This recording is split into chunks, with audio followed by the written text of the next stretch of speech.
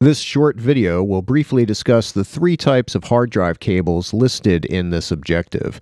We discuss and demonstrate more about these hard drives and cables and connections in other videos within this course. So real quick, three types here. First we have serial ATA, SATA. Uh, some people will call it SATA, some people will call it SATA. Whichever way you go, it's a very common hard drive technology that can work with magnetic base drives or solid state drives. And what we have here is the data cable. This is a 7 pin data connection. It also uses a 15 pin power connection, but this is a 7 pin data connection.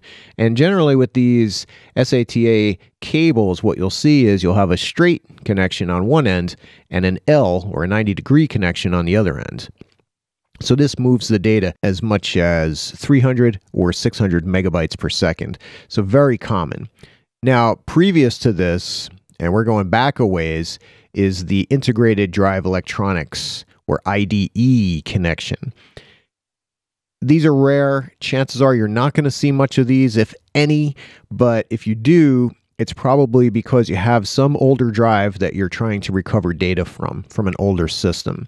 Now, this was back in the day, and this was used for a long time, but this was back in the day before everything moved over to serial bit streams, where everything was is now transferred at one bit at a time.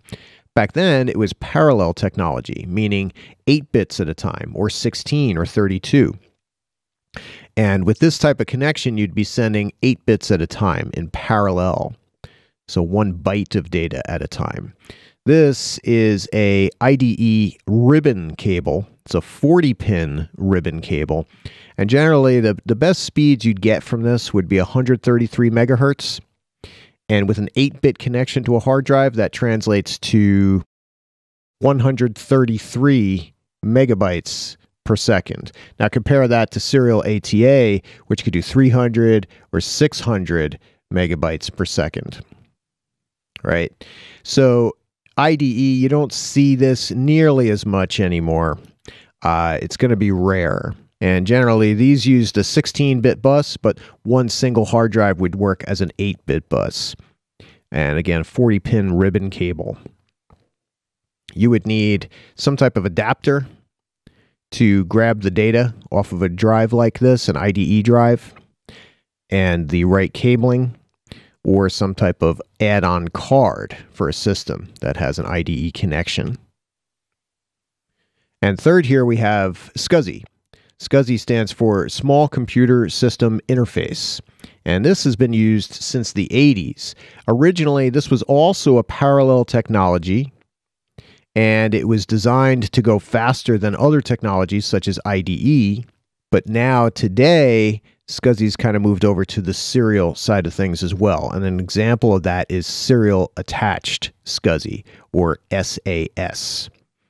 And today, with SAS, with serial attached SCSI, you have different versions. The latest version, uh, as of the recording of this video, came out in 2017, and that is SAS version 4, which could do as much as 22, that's 22.5 gigabits per second.